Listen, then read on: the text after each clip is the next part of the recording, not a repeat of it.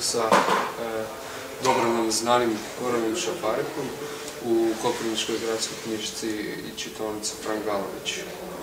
Da ja ti pitam koje je to e, putovanje za tebe putopisno? Radi se o putovanju na Andamansko otočje, Dobro. otočje usred Indijskog oceana. Čak ja kad su me zvali, tamo nisam bio siguran gdje to točno je. Znam da postoji Andamansko more i tamo nekako kopno, odnosno otoci. Onda sam morao istraživati. A nije malo, a opet je relativno nepoznato. Tako da to za mene bio jako veliki izazov. Znači, uopće gdje je, šta ima tamo, a otkrili smo da ima jako, jako zanimljive stvari. Mhm, mhm. Na primjer, Na primjer, ima jedna od najočuvanijih kišnih šuma, najočuvanijih koranih grebena, ima plemena iz, tako reći, kamenog doba. Ima predivne plaže, ima idiličnu ruralnu e, kulturu, to, na- to indijsko stanovništvo, tako da ima sve. Jedino nema zagađenja, civilizacije, nema globalizacije, nema stresa. Eto. e, kako si ti kao znači, čovjek iz grada snalazi? Kako si se snašao tamo? Pa dobro, čovjek iz grada, rođen sam u gradu, ali sam, na- sam i u Hrvatskoj i vani bio u svim tim divnim područjima, tako da sam se sve našao ko riba u vodi. Ok. Jer, jer ja volim takva područja. Što izvornija, to bolje. Pa dobro, po nekim ekstremima, Andamansko otočje je po neciviliziranosti ili po e, pitomosti, ono. Pa teško reći zato što u nekim aspektima, e, nije bi rekao neciviliziranost, jednostavno neglobaliziranost je možda Mhm. bolje reći. Jer, jer necivilizirano vuče nešto negativno, a što nije toliko loše.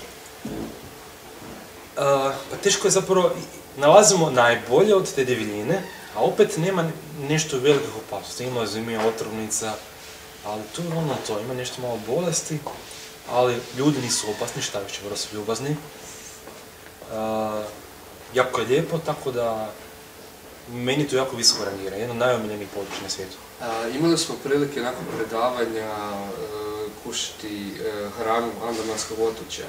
Tako je. Možeš mi reći? To je zapravo, nije, nije, nije tipična hrana Andamanskog otočja, nego je to zapravo južnoindijska hrana, zato što stanovnici, naseljenici e, otočja, znači novi naseljenici su Indijci, mahom iz Južne Indije, tako da to tipična južnoindijska hrana, ljuta, puno čilija, puno začina, puno okusa. Ali oni koji nisu navikli na čili, njima je to jako ljuto. Treba neko vrijeme da se, da se taj čili malo opusti i onda da čovjek osjeti svu, svu punu snagu i ljepotu indijske prehrane, kuhinje. Dobro, nisi mi odgovorio na prvo pitanje. Ko je, ko je e, po redu ova ekspedicija za tebe? Po mene, uh, trebao bi sada brojati, mi smo svake godine išli na jednu ekspediciju od 2000, znači otprilike deseta. Deseta ekspedicija. Znači deseta ekspedicija po 2-3 mjeseca u komadu. Znači mi kad idemo na ekspediciji nije da ćemo u 3 mjeseca proći 30 država, nego ćemo biti na jednom mjestu to vrijeme. Tako da ne zvuči puno 10, a opet kad se zna da smo bili po 2-3 mjeseca, nije niti malo. A, vjerovatno puno vas zanima kako se ekspedicija radi, kako se organizira.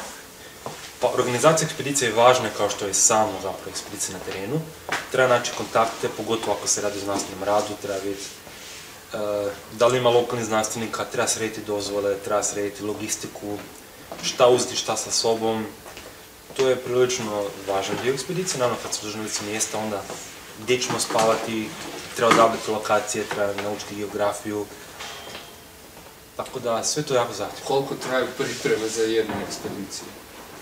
Pa u teoriji bi pripreme trebale biti poduže, što bolja priprema, naravno bit će bolja realizacija, ali često se mora na brzinu, ali uglavnom planiranje zna biti i do godinu dana naprijed. Znači planiranje, traženje dozvola, sređivanje viza, čitanje, sve što ima o tome i tako dalje. Dobro. E, da li je, da li je e, put na Andamansko otočje tvoj e, najekstremniji izlet ili ima nekih ekstremnih anegdota možda? Pa što se tiče izoliranosti, to možda je najizoliraniji dio. Najopasniji definitivno je Amazona i Afrika. Ali to je opet drugčija priča. znači svaka priča je na svoj način.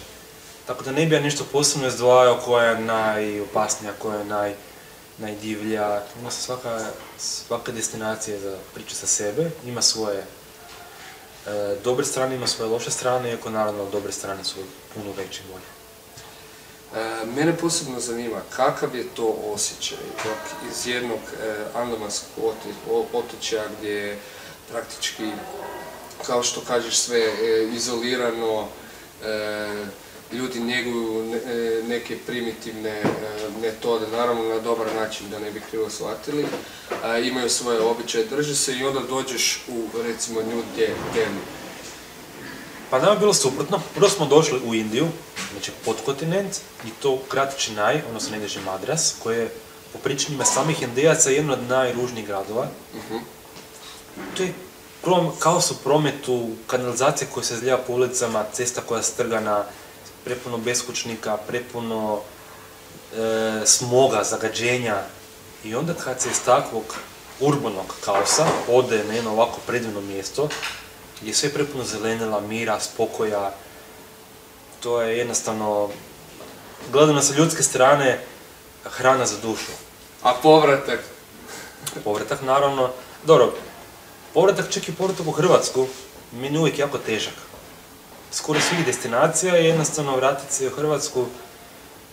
Pa čak i koliko to zvuči malo banalno i smiješno kad se recimo vrati iz jednog ogromnog grada kao što je i taj Madras Čenaj ili u jedan Zagreb koji je ipak manji, recimo sletni na pleso sa tih nekoliko aviona ili usporedba tamo, znači mjesto gdje dolazimo gdje je prepuno, prepuno na stotine letova i tako dalje.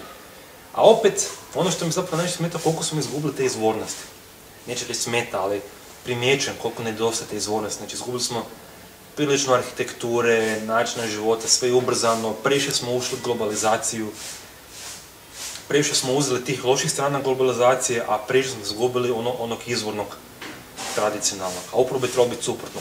uzeti najbolje od tradicije i najbolje od, od globalizacije. To je neko moje mišljenje, ja sad naravno teško odgovoriti u dvije, tri rečenice, ali to je neko mišljenje koji se sve više kristalizira.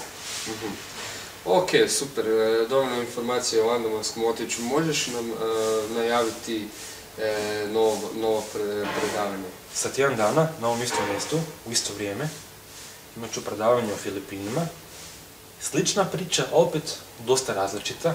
Govorimo o jednom otoku, otočju, koji je bio prvo pod Španjolcima, a potom pod Amerikancima, koji je puno više globaliziran, ali opet je uspio sačuvati svoje draže. Tako da pozivam eto, sa tjedan dana da bi se pridružio. Eto, bio je sa nama Goran Šaparik. Hvala lijepo. Hvala vama.